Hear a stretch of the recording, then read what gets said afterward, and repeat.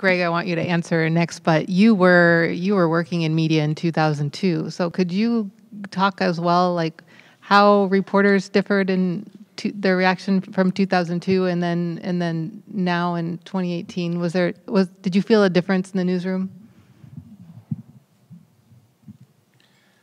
Well, we have a very seasoned staff at Catholic News Service, so um, we just went straight to despair. Uh,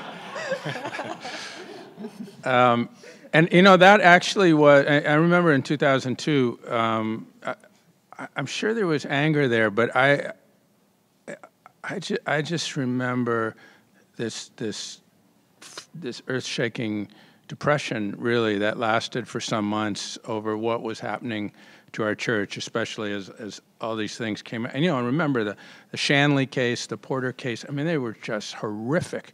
And um, and and in 2016, I gave a talk at the Catholic Media Conference on you know keeping your faith as a Catholic journalist.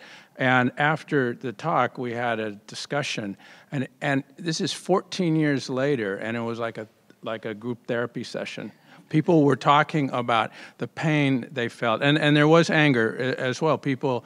Um, you know, not going to church, dropping out of all their activities. This, this just complete. It, it was so dislocative uh, in, in, 2002. So I, I think that's, um, and and I have to say, I felt like a, a, a version of that this time around. Uh, maybe the anger was directed at the bishops more this time. And and there's one thing we haven't discussed yet. In June 20th.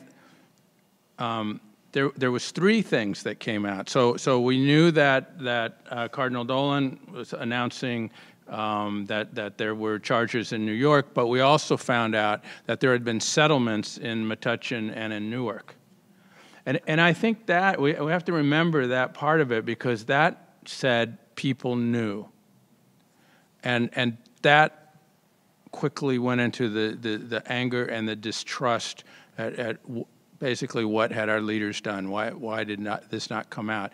And, and as that sort of conflagration grew, it, it swept up Rome as well. Since, since things started coming out, we did a, a story on um, Father Ramsey and his letters and his attempt uh, to get through. So um, again, that, that was another component of it. The New York report was terrible. The Metuchen and Newark reports suggested people really did know and, and for whatever reason had not addressed it.